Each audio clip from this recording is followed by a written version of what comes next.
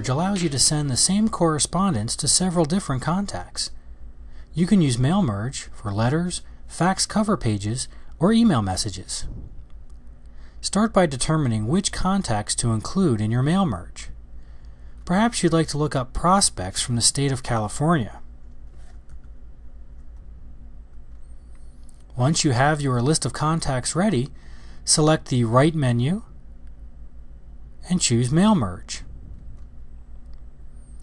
Click OK and then select the output type, either the current word processor, like Microsoft Word, an email message, directly to the printer, or if you have fax software set up, to the fax machine.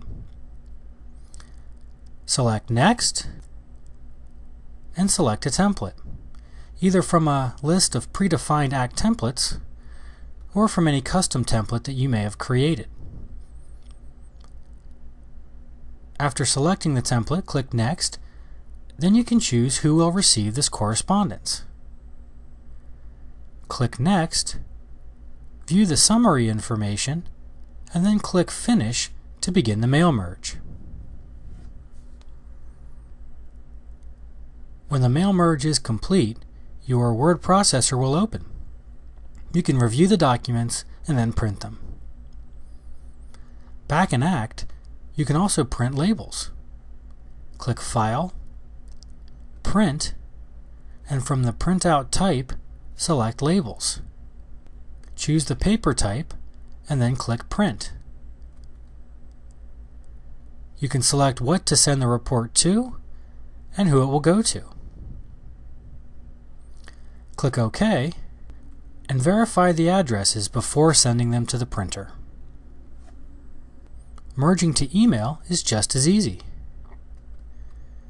Select Write, choose Mail Merge, click Next, and now choose Email. Click Next, again choose your template,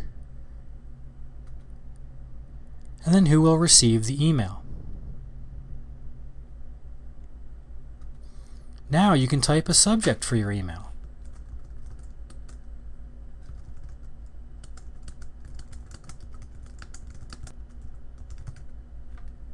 You can choose the level of history to record, attach any files that you may want to send, and even request a return receipt.